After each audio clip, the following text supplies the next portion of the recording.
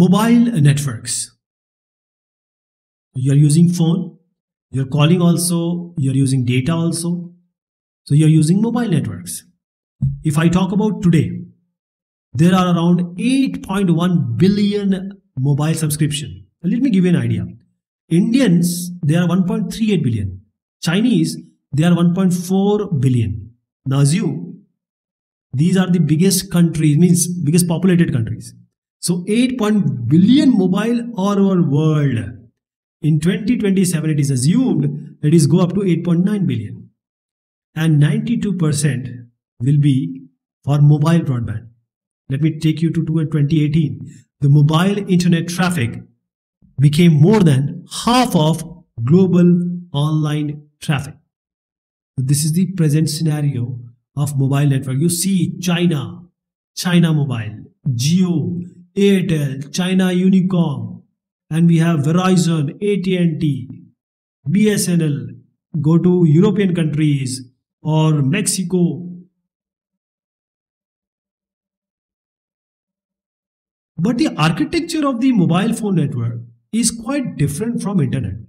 Because in internet we saw that we have different tier, tier 1 like the main transit providers like level 3 and uh, others. Tier 2 ISPs, tier 3 like this.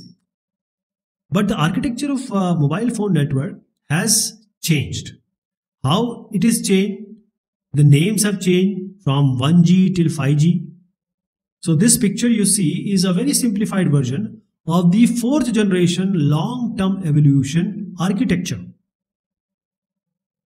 We will talk about uh, the various generation, but now here we will concentrate on the present scenario.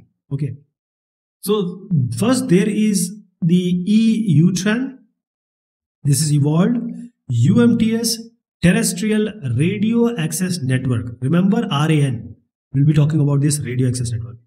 The radio communication protocol that is used over the air between the mobile device, that is, this is your cell phone. Okay, this is your cell phone and this is your cellular base station and there is air. This is a radio communication protocol and this is called, the base station is now called as E node B. The cellular base station you, we used to traditionally call, now we call them as E node B. And now the cellular phone network is no longer called, it is actually called as UMTS, Universal Mobile Telecommunication System. When 3G came, we started talking about UMTS. Now it is the formal name for the cellular phone network. And the air interface I talked about, this is based on CDMA, Code Division Multiple Access. We'll talk about this in detail. Now all this picture shows different parts. The cellular base station along with all the controllers, this forms RAN, this RAN, Radio Access Network. Okay, you can also say that this is the wireless side of the mobile phone network. This is wireless. You know, you're talking wirelessly. And the controller node, or you can say the RNC, radio network controller, this will control how the different spectrums will be used. The base station is all about implementing the air interface. It is, it will be implementing the air interface. The rest of uh, the mobile network, phone network is called the core network. What is the work? It carries the traffic for the radio access network. This is the core network.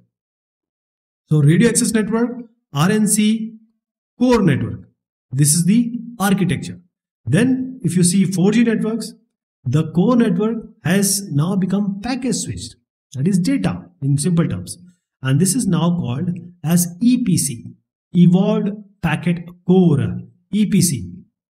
The 3G UMTS core network, this has come from where? It has evolved from core network which was used in the earliest 2G and means second generation uh, global system mobile system. The 4G EPC that is evolved packet core completed the transition to a fully packet switch core network. The 5G is fully digital. It's fully digital. So data services is now the most important part of phone network. When 1G came, it was all about voice. no one has thought data will come. Earlier, earlier the GPRS systems in the GSM systems, now it has all changed. Now, previously we used to talk about kbps speeds. Now we are talking about only GBS, GBPS speed, kilobit per second. Now it's gigabit per second. Kilo and giga has a lot of difference. Kilo is 10 to the power 3. Now, the uh, actual scenario, what happens?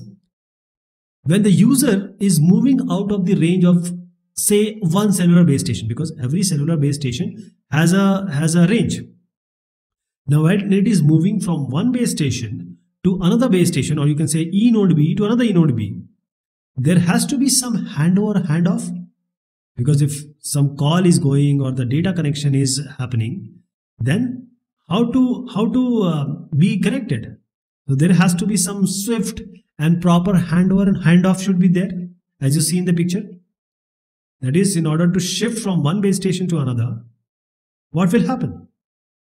For example, you are talking, you are talking uh, to your home and you have changed the base station. So either the mobile device or the base station, because of the signal quality is dropping, both may request a handover. That, oh, okay, the signal is dropping, we need some handover. So the boundary has changed. So cell networks which is based on the code division multiple uh, access technology. Now it is possible to connect new before disconnecting the old base station. That is, rather than disconnecting from one base station, it can connect to the next base station without disconnecting. What I am trying to say, uh, say here that the connection quality there will be no break in service and the mobile is actually connected for a very short while to both the base stations. One, one base station the quality is low, the other will also be low but it will peak. So this handover is called soft handover. Soft handover. The mobile is actually connected to two base station for a short while and there will be no break, break in service and it will improve the connection quality there is hard handover in which the mobile has to disconnect from old base station and then only it can connect to the new base station. This is called as hard handover. Now how to find a mobile when there is an uh, incoming call? This question should come into our mind. So for that there is provision. Each mobile phone network has HSS home subscriber server. Home subscriber server.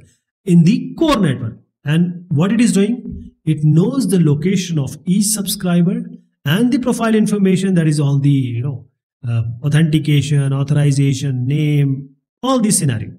So this hss will answer this question. Hss home subscriber server phone companies has to take the security very seriously. First of all, you are paying to them and uh, they are charging. That is how they work. And any kind of payment fraud has to be has to be taken care. So security they are they have to put. This is SIM card. You are very familiar with this SIM card. But starting with the 2G GSM system, the mobile system was divided into two parts. One is your handset and then you put a SIM card. This is a removable chip. It is an electronic chip and it has the subscriber identity and the subscriber account information. And this chip is called as SIM card. SIM, subscriber identity module. Subscriber identity module. Now what you do? You take one mobile, put SIM. If you take another mobile, take this SIM, SIM, put it inside another SIM right? And this is also providing a basis for security. People can, you know, take a mobile, but they cannot use your SIM.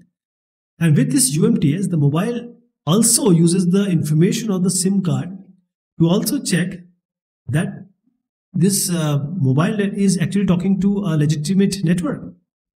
Along with security, there's another important consideration in mobile cellular networks, which is privacy.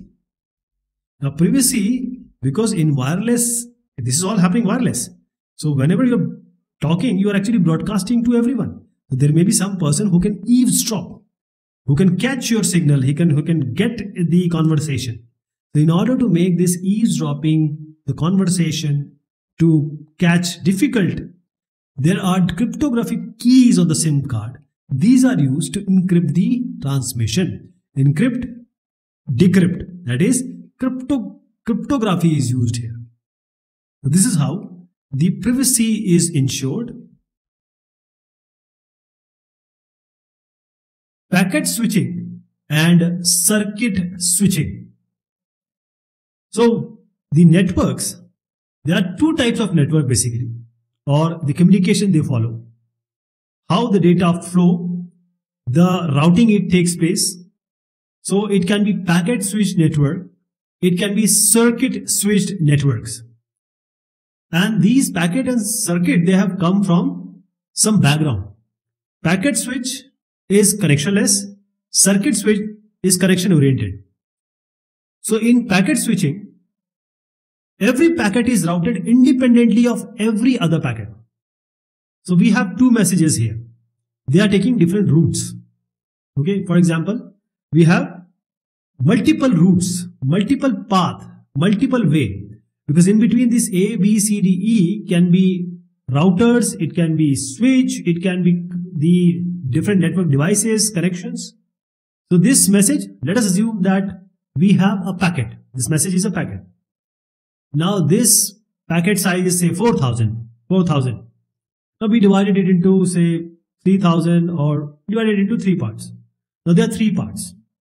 Now the first part can take this, this path it can be routed through, the other one can be routed through this path.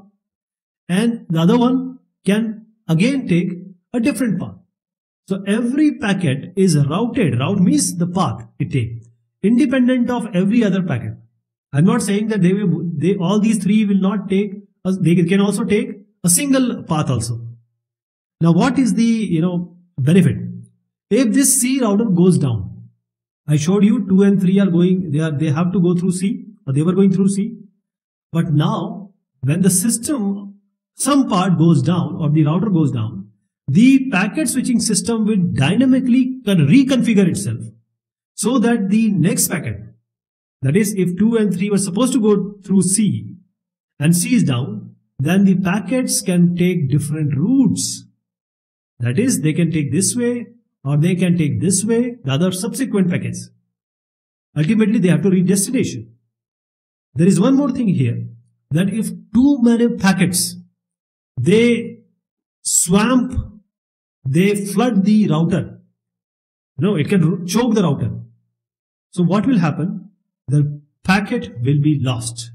The router will be or the networking devices will be losing or, or dropping the packets. This is losing of packet and this happens in packet switching. You can call it as swamping, flooding, choking. This all results in losing of packet. This happens in packet switching. Circuit switching, it doesn't happen. Right? We'll take, take the differences also, short uh, way of discussing these two. So the sender will notice and resend, but the quality of service can be poor because you don't know or there has to be some way it has to be accounted which packet was dropped, which wasn't. So the quality of service of packet switching is not as compared to the circuit switch networks. For example, you are sending an image. Now you are sending it using packets, a message. Now the I or knows this packet is lost. How do you see yourself at the destination? Now the other counterpart is circuit switching. It has come from telephone systems. Normally in telephone system, there are two parties. One is the caller, callee. So two parties, one calling, one attending. Now, when you, you know, pick up the cradle, you dial the number and then the call, the other person will listen to some ring. And when he picks up the call, both of them picks up the call. Now a permanent connection is established. right? A permanent connection is established and this is the single route I'm talking about. And this route or route or connection will be maintained until the call is terminated by either of these two. Now what happens when the lies, the line or the switch or the, you know, some networking devices goes down? The call will be aborted. So there is a circuit. How does this circuit form? One is calling, one is one is replying. So there is a kind of circuit being formed. That is why this is called circuit switching. The call has to be aborted if something goes down in between. Therefore, circuit switching is less fault tolerant than the packet switching. Okay. Packet switching is all about taking different path. If, even if there is some fault, it can tolerate it. The packets can take another part, another route, right? But here, there is no other path, a single path. So circuit switching, because what is the benefit? First of all, there is a single path always established. So the quality of service, it can support easily. Because when the connection is being established, you know in advance. So we can, the communication network or the subnet can reserve the bandwidth, link bandwidth. It can also, you know, switch the buffer spaces. Also the CPU time. This all comes under the quality of service. And for example, the resources are not sufficient. If you know that there is a call already being established, then what will happen? Previously, when you we used to call, you know, 10 years back, after 11 o'clock, the calls were free. So everyone starts calling. And when we start calling, it is always busy. But once the connection is set up, the connection of circuit switching will give you a good service. So here, once you make a connection in circuit switching, it, the packets or the path of or the route will always be the same for all the packets. There are equipments which we see today in the core network. Both are packet also and circuit switch equipment also. You know, mo mostly the core networks, they are still using the packet and the circuit switch equipment both. They, these are not different networks. The, the network or the communication medium, they have the say merging of this packet and circuit switched network. Uh, the older mobile phone networks, they used to uh, have this circuit switched core network because they were carrying the uh, voice calls. I'm talking about the 1G systems. But that legacy, that tradition is still seen in the latest 4G, 5G network UMTS. You see MSC, Mobile Switching Center, all I have tried to show here show here. So MSC, uh, Mobile Switching Center. Then we have GMSC, that is Gateway Mobile Switching Center. Then we will also see the Media Gateway, MGW. These are there for switch service. These are actually the, the switch circuit switched core network like previously in PSTN, public switched telephone network, like the BSNLs we have. So still we have the combination of these two. Okay. So circuit switch is still there. Packet is also there.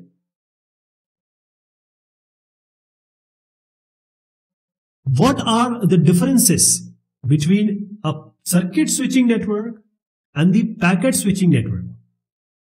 How the connection will be established? Circuit switching is the connection oriented. Packet switching is connection less. Packet switching is unreliable. Circuit switching is reliable. How? See, in circuit switching, when you call, there is a permanent route established. That is the physical path between source and destination is established. So this is the physical path when you are using a circuit switching network. While you are using a packet switching network, there will be no permanent path for the packets. One packet, the other packet, they may take different route. They can take different path. The ultimate thing is they have to reach at the destination. No matter they take the path independently. In circuit switch, if something breaks, the connection breaks. But here in the packet switching, if some portion goes down, then also the packets will reach, they will take a different route. In circuit switching, because the permanent uh, path is established, so we can reserve the entire bandwidth in advance, right? The different, because the circuit switching, we know in advance. But the packet switching, this bandwidth is not reserved. So the packets use the same path in circuit switching. They packets travel independently. And when it comes to the bandwidth, which comes under the purview of quality of service, we can reserve the entire bandwidth in advance. As I said, packet switching, we cannot reserve because different links can be established, different route can be taken for independent packets, right? Now, the other difference between circuit switching and packet switching is the bandwidth wastage. And packet switching, there is no bandwidth wastage. Bandwidth, you can uh, think of a pipe. How uh, the how much the width of the pipe is that decides the bandwidth. So bandwidth is wasted in circuit switching, not in packet switching. In circuit switching, there is no store and forward transmission. Packet switching, we have it supports store and forward transmission. Now in circuit switching, once you establish a path, there is no need to store. The packets have to take the same path every time. But in packet switching, first it has to go here. Now it has to look for the path. It has to decide the route. There are routing algorithms. So if some of the link is broken, the packets may take different path. So it has to come and then it has to go. So it has the packet switching support the store and forward transmission. There are various generations of mobile telecommunication or you can say mobile networks or mobile services, cellular services, data services. These are different generations. 1G, 2G, 3G, 4G, 5G. So the first generation was mobile phone system only transmitting the voice calls. There will be only, there was only analog signals, no digital, no bits. Now you see here AMPS, Advanced Mobile Phone System. This was deployed in United States in 1982 and it was the widely used first generation system 1G. This G stands for generation. Second generation, now it switched to transmitting voice calls in digital form. Okay. Now digital came here. This was to increase the capacity, to improve the security, and then the text messaging was offered. Texting. Then GSM. This GSM is actually a 2G system, global system for mobile communication, and this was deployed in 1991. 1G 1982, 2G 1991. So this, this is I'm showing how the phone used to look. 3G, this was initially deployed in 2001 and now it was giving both the voice and the data services digital. There's digital voice and broadband digital services. So ITU International Telecommunication Union, they have specified 3G that if you're standing, you must get at least 2 Mbps. And if you're moving, walking, or in your train, you must get at least 384 kilobit per second. Mbps is megabit per second. This has to be the speed to call it as a 3G. And then UMTS. See, in between 2G and 3G, there, there is a time. So the CDMA 1 and GPRS, they all come in 2.5 G. G. We don't generally talk about 2.5G, but you need to know that there was 2.5G also. Some people have, uh, you know, they have researched on it. They have talked about it. So this UMTS is the main 3G system which was deployed worldwide. And as we take the example of YouTube, say, there is some upload and there is some download. So this kind of thing, you can think that there is a downlink, downlink speed, 14, 14 Mbps, uplink 6 Mbps. Now there is a spectrum, electromagnetic spectrum, and there is a radio spectrum. So radio spectrum. Now for the 3G system, the spectrum or the frequency range is very scarce, is very short. Now why it is related? Because you need to talk on certain frequency. You can only talk on certain frequency. Mainly in the mobile telecommunication, you ought to use the frequency. Okay. Now this frequency of band, this is governed by the you know federal government. Like that is the government has all the right. They sell it that this is the range, and if you want to take this range, give us this money. So if you have a spectrum part that is a licensed spectrum, right, it becomes very easy to make systems and design systems according to it. Because at that particular uh, spectrum, if you have purchased that spectrum, that is the frequency range, then you can make your own uh, operators, uh, you know, design and operate the systems. But this costs a lot. This costs a serious money. Let me take you to 2000 in United Kingdom. Five 3G licenses, they were auctioned by the government for 40 billion dollar. I am talking about 2000. We are in 2022. So because of the scarcity of the spectrum, it, we have to do certain thing. So then came the cellular network. This cellular network has come just because of the scarcity of spectrum. There has to do, be done something to reuse the frequency. Okay. Because if you, somebody is talking and if other person is also talking, same frequency, there will be interference and that interference, how to avoid that. So the coverage area of that base station was divided into certain cells. So if the division is such that there is a proper arrangement so that the uh, two people talking may not interfere or they may reuse the frequency. Okay. So within a cell, a user are assigned channels. For example, this A I'm showing. All the A which you see here, they are in the same coverage area but they, they, they do not interfere with each other and not also with the adjacent cells. These two, when they are talking, they don't interfere. So this is allowing this way of uh, reusing or cellular network dividing into cell resulted in the frequency reuse in the neighboring cells. And this is how the capacity of the network with a same frequency has increased was increased. So this is the latest arrangement which we use. Frequency reuse is a very important aspect in cellular network.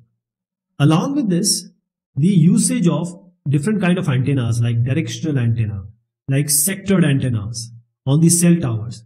This also helped in reducing the interference further.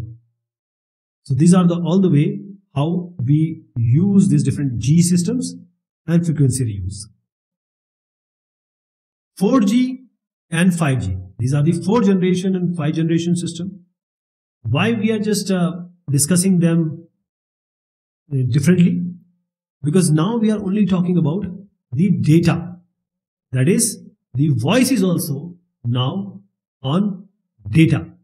That is the 4G, which was basically uh, 4G LTE, which actually became popular. The long-term evolution this LTE 4G offers faster speed. And this came up uh, in the late 2000s. And at that time, various technologies were there. But when this 4G LTE networks, they came, they, for the mobile internet especially, they outspaced the WiMAX, which was 802.16. WiMAX was a very popular technology technique, but it was overthrown by this 4G LTE. And 5G technologies, they are promising speed of 10 Gbps. And they 2020s, many countries got it and it's still under set deployment. 4G, it uses frequency bands up to 20 megahertz.